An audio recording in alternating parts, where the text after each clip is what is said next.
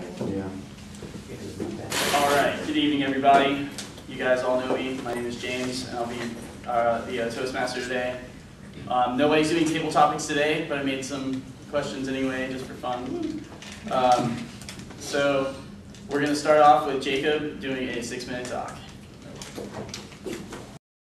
You've all been wonderful today. Thank you for coming. You had no choice. Um, Love a captive audience. Thanks for coming. Again, I'm- my name is James, and this has been um, our lab for today on the 27th of February. Thank you.